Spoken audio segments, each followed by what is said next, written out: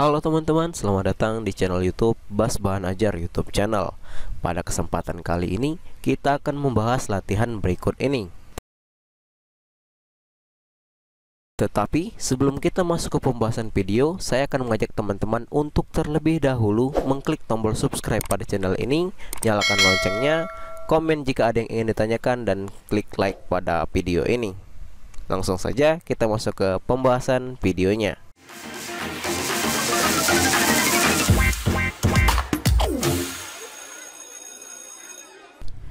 Uji kompetensi uh, bab 4 PKN kelas 7 halaman 88 untuk buku kurikulum merdeka. Ini pertanyaannya bisa teman-teman lihat di sini. Langsung saja kita bahas nomor 1. Selama ini ada anggapan bahwa laki-laki selalu lebih kuat dibanding perempuan. Karena itu dalam memilih pimpinan seperti ketua kelas, ketua kelompok, kepala desa, hingga kepala daerah dan kepala negara sering mementingkan yang laki-laki walaupun ada perempuan yang baik untuk menjadi pemimpin. Ada yang menggunakan ayat agama yang, menyebutkan laki-laki itu pemimpin perempuan sebagai alasan, walaupun ada ayat yang juga sangat jelas bahwa yang paling mulia di sisi Tuhan adalah yang yang bertakwa baik perempuan ataupun laki-laki. Bagaimana pandangan kalian tentang itu?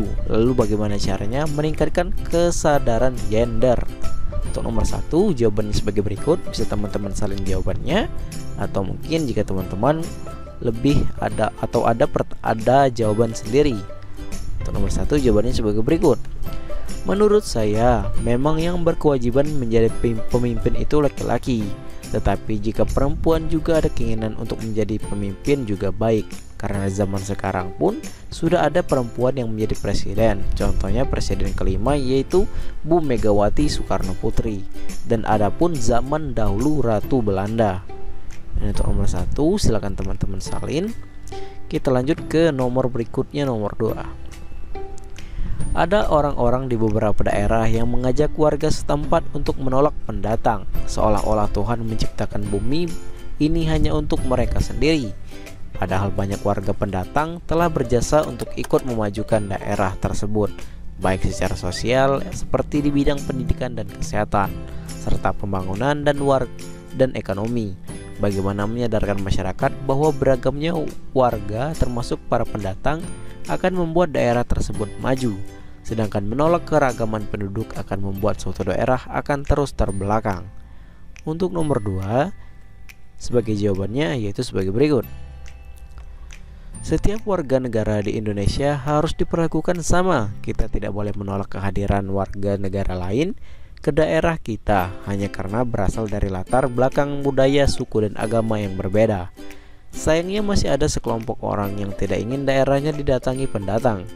Banyak faktor yang menyebabkan hal itu terjadi. Di antaranya adalah faktor kesukuan atau pola pikir yang masih konservatif. Mes menyikapi kelompok orang seperti ini harus dilakukan dengan bijak dan pintar. Berikut ini usaha yang dapat kita lakukan untuk menyadarkan kepada kelompok orang yang tidak mau menerima para pendatang, yaitu mengajaknya berdialog atau mengajaknya berdiskusi, berdiskusi yang kedua, mengundang pihak terkait agar memberikan penyuluhan. Dan yang ketiga, menjelaskan bahwa ada sanksi atas perlakuan diskriminasi. Dan untuk jawaban nomor dua, silakan teman-teman salin. Kita lanjut ke nomor terakhir yaitu nomor tiga. Setiap umat beragama harus sangat yakin dengan ajaran agamanya masing-masing. Namun setiap pemeluk suatu agama juga harus menghormati pemeluk agama lain karena agama juga mengajarkan bahwa bagiku agamaku dan bagimu agamamu. Bagaimana kalian menjalankan dua prinsip itu?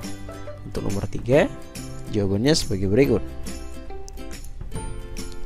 Bagiku agamaku, kita tidak dapat menganut apa yang kita dapat menganut agama apa yang kita percayai. Bagimu agamamu, kita harus menghormati dan menghargai agama orang lain. Kita juga tidak boleh mengganti kepercayaan, mengganggu kepercayaan orang tersebut.